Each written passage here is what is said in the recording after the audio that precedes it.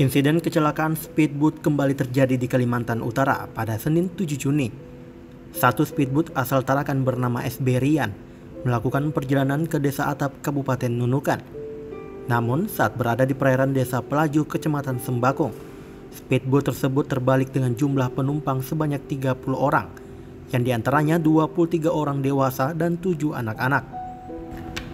Dalam rilis persnya Kasih Ops Basarnas Kota Tarakan, Dede mengatakan bahwa lokasi kecelakaan satu buah speedboat ini terbalik di perairan Sungai Sembakung, Kabupaten Nunukan, Kaltara pada pukul 13.28 waktu Indonesia Tengah.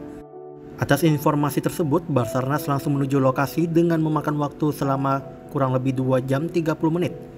Adapun aksi yang dilakukan Basarnas yakni melakukan pelaporan, memberangkatkan satu tim rescue, berkoordinasi dengan BPBD Kabupaten Bulungan, berkoordinasi dengan Pol Erut Bulungan dan berkoordinasi dengan Pol Ed Polda Kaltara. Berdasarkan informasi yang didapatkan Radar Terakan Televisi, para korban kecelakaan speedboat dievakuasi di Sembakung dengan bantuan warga sekitar.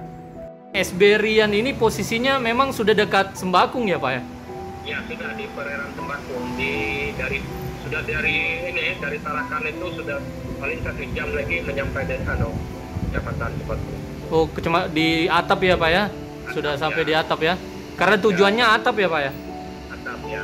Nah, bap- Bapak ada info berapa sih Pak yang katanya meninggal Pak? Ada lima. Ada lima orang ya? Mening lima orang ya. Anak, Mening. anak anak satu. Anak-anak satu dewasa empat orang. Empat orang ya. Nah, Bapak yang selebihnya itu yang selamat itu sudah dibawa ke atap ya Pak ya?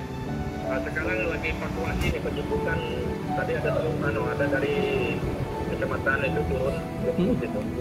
Dari kecamatan turun ke sana ke lokasi, Ya, ke TKP ya ke lokasi. ke lokasi.